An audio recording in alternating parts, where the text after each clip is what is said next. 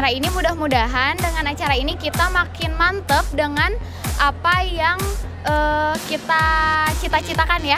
Ya, acara ini juga benar-benar menggugah minat kami semua, terutama kita yang akan memasuki jenjang perkuliahan. Uh, acaranya teh asik ya, terus teh motivasi banyak manfaat buat kita. Uh, saya bisa ketemu orang-orang baru dan juga bisa mewakili uh, dari sekolah dan saya uh, bisa mendapatkan motivasi yang lebih lagi. Uh, hadiahnya juga luar biasa. Nggak galau lagi pilih jurusan, udah tahu kemampuan diri, sifat diri itu seperti apa. Menambahkan wawasan lagi dan bagi saya wawasan baru gitu. Yang asalnya galau jadi nggak galau. Apa dapat wawasan gitu di sini tuh buat nanti ke depannya milih tuh kayak gimana. Uh, asik, nambah pengalaman, terus memotivasi banget gitu.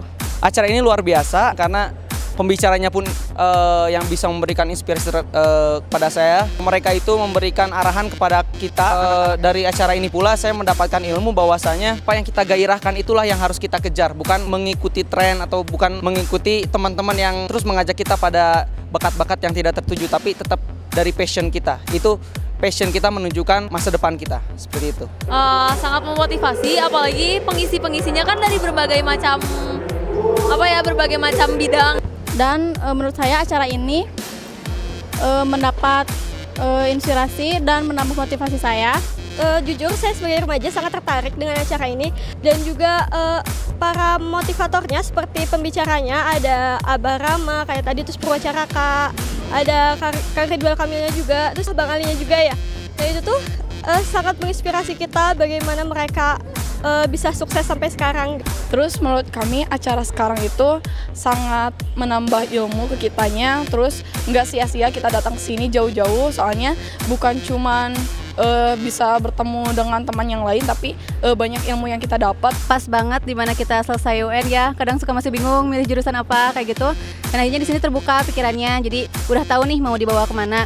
Uh, kita itu jadi lebih termotivasi dan uh, jujur ya acara ini tuh seru ya. Uh, uh, banyak yang hal menarik. Uh, acara ini pasti yang memotivasi, uh, bermanfaat. Kita jadi tahu bakat-bakat kita yang mungkin selama ini sebenarnya kita nggak pernah tahu. Dan akhirnya kita tahu juga ya uh, temubakat.com juga yang mungkin baru segelintir orang tahu akhirnya mungkin sekarang bisa lebih dipublikasikan lagi. Seru, keren, uh, amazing ya kita bisa ketemu sama Kang Ridwan Kamil, sama Kang Purwacaraka, sama Kang Ali Bagus ya. Kita bisa terinspirasi gitu dengan adanya acara ini. Uh, pembicaranya orang-orang hebat, jadi kita bangga banget bisa uh, ikut langsung dalam acara ini dan yang pastinya talent mappingnya keren, bikin gagal lagi.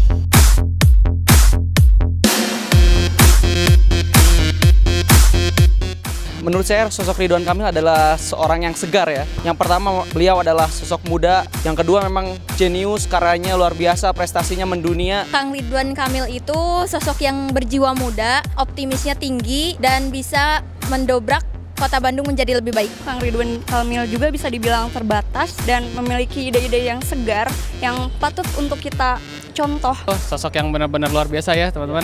ABG banget. Tadi udah kelihatan dari dari mulai raut wajahnya yang benar-benar bercahaya gitu sampai juga prestasinya yang sangat luar biasa. Dan itu merupakan inspirasi juga buat kita semua sebagai pelajar dan calon mahasiswa seorang yang kreatif, yang punya inovasi tinggi. Ridwan Kamil itu uh, orangnya hebat banget. Ridwan Kamil itu menurut saya sosok yang berjiwa muda, terus mampu mengajak remaja-remaja itu menjadi termotivasi. Dan menurut saya dilihat dari uh, sejarah kehidupannya, dari karya-karyanya, bahwa itu merupakan sosok yang pekerja keras dan mudah-mudahan yang jujur juga.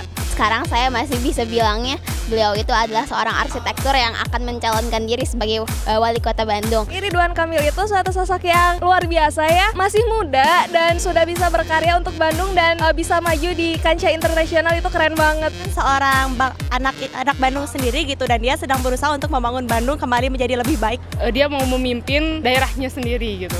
Uh, Ridwan Kamil itu mewakili kita kita semua generasi muda yang ingin berubah, yang ingin uh, membuat Bandung lebih baik. Gitu. Belum tahu Ridwan Kamil itu yang mana, tapi pas tadi ke sini lihat Ridwan Kamil kan jadi tahu. Uh, ternyata keren banget ya pemirsa, iya, keren. Uh, sumpah keren banget.